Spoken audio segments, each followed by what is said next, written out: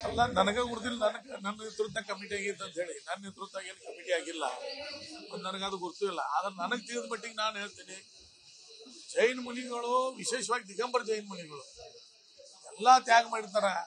ಅವರು ಪೂರ್ವಾಶ್ರಮ್ಯಾಗ ಅವ್ರದ್ದು ನಲ್ವತ್ತೊಂದು ಎಕರೆ ಜಮೀನ್ ಇದ್ದಂತ ಕುಟುಂಬದಿಂದ ಬಂದವರು ಸ್ವಾಮೀಜಿ ಅವರು ಅವ್ರಿಗೇನು ರೊಕ್ಕದ ಅವಶ್ಯಕತೆ ಅದ?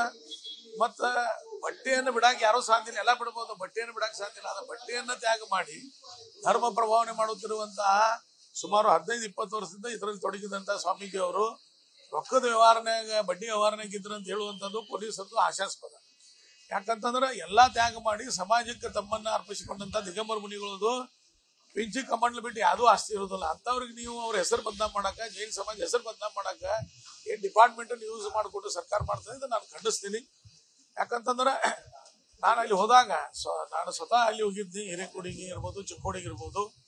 ಸುಮಾರು ಜನ ಶುಕ್ರವಾರ ಮುಂಜಾನೆ ತನಕ ಏನು ಪೊಲೀಸರು ಸರ್ಕಾರ ಕೊಡ್ತಾ ಇದ್ರು, ಶುಕ್ರವಾರ ಮಧ್ಯಾಹ್ನದಿಂದ ಪ್ರೆಷರ್ ಒತ್ತಡಕ್ಕೆ ಒಳಗಾಗಿ ಅವರು ಇದೇ ರೀತಿ ಸ್ಟೇಟ್ಮೆಂಟ್ ಕೊಡಬೇಕು, ಇದೇ ರೀತಿ ಸ್ಟೇಟ್ಮೆಂಟ್ ಕೊಡ್ಬೇಕು ಅಂತ ಹೇಳಿ ರಸ್ತೆಗಳಿಗೆ ಒತ್ತಡ ಹಾಕುವಂಥದ್ದು, ಊರಿನಲ್ಲಿ ಮಠಕ್ಕೆ ಸಂಬಂಧಪಟ್ಟಂತ ಭಾವ ಭಕ್ತರಲ್ಲಿ ಒತ್ತಡ ಹಾಕುವಂಥದ್ದು ಏನು ಪ್ರಾರಂಭ ಮಾಡಿದಾರೆ ಜನ ಹೇಳ್ತಾರೆ ಇದರಿಂದ ಖಂಡನೆ ಆಗ್ತದೆ. ಎರಡನೇ ಆರೋಪಿಯನ್ನು ಮೊದಲೇ ಮಾಡೋದು, ಮೊದಲನೇ ಆರೋಪಿಯನ್ನು ಎರಡನೇ ಮಾಡೋದು, ಆರೋಪಿ ಹೆಸರು ಹೇಳದೇ ಇರುವುದು, ಅದಾದ ನಂತರ ಆರೋಪಿ ಹೆಸರನ್ನ ಹೇಳುವುದು ಆಮೇಲೆ ತನಿಖೆ ಪೂರ್ಣ ಆಗೋಕ್ಕಿಂತ ಮೊದಲ ಸ್ವಾಮೀಜಿ ಅವರು ರೊಕ್ಕದ ವ್ಯವಹಾರನಾಗ ತೊಡಗಿದ್ರು ಅಂತ ಹೇಳುವಂಥದ್ದು ಈ ಎಲ್ಲ ನೋಡಿದ್ರೆ ಪೊಲೀಸರು ಯಾವುದೋ ಒತ್ತಡ ಕೆಲಸ ಮಾಡ್ತಾ ಇದ್ದಾರೆ. ಫೇರ್ ತನಿಖೆ ಆಗೋದಿಲ್ಲ ಅನ್ನೋದನ್ನ ಸರಿಯಾಗಿ ಜನರು ಹೇಳ್ತಾ ಇದ್ದಾರೆ.